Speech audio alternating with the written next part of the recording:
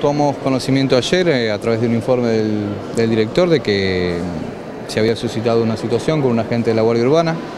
Eh, según constaba en el libro de guardias había ocurrido un siniestro en calle Undiano y Drago. Habían eh, acudido agentes y habían informado en el libro de guardia que no había habido ninguna novedad. Bueno, con averiguaciones que se hizo después con respecto al tipo de siniestro y cómo había ocurrido, surge que no se realizó el control de alcoholemia.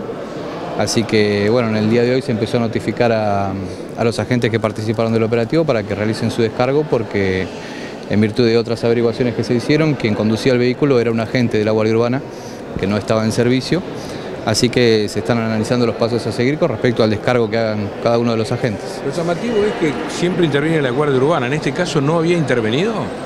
Sí, a través de un llamado al 911 se, se, comunica que hubo un siniestro y acuden tanto Defensa Civil como Guardia Urbana. Hay una versión que indica que el auto de la gente fue trasladado por los propios compañeros a la casa de la gente y no hacia el correo municipal, ¿es así?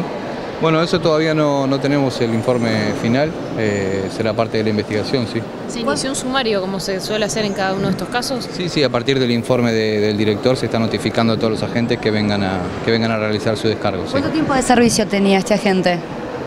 Eh, no, es un agente, el que tuvo el siniestro, no, es un agente con varios años de servicio, sí. Más allá del sumario... No, no, estaba en servicio, la gente estaba en un día de franco. Tuvo un siniestro, y, pero no estaba trabajando él. Más allá del sumario, ¿se, ¿se dijo algo? ¿Por qué dieron algún tipo de explicación más allá de los pasos que se van a seguir? No, se están notificando de que tienen que realizar su descargo.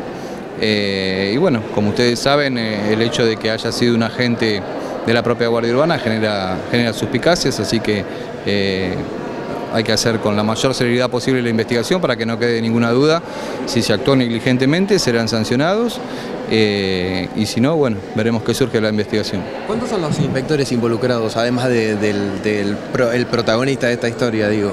¿Cuántos acudieron a, al lugar de, del siniestro? Estamos esperando el informe de ellos. Ellos en el libro de guardia manifiesta que habían tres. ¿Cómo catalogan esta situación? ¿Cómo se los va a sancionar?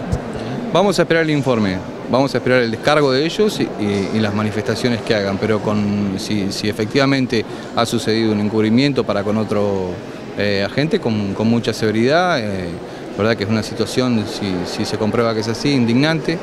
El intendente también está muy enojado con esto, así que bueno, vamos a esperar de todas formas, ya les digo, el descargo, pero a priori es una situación grave.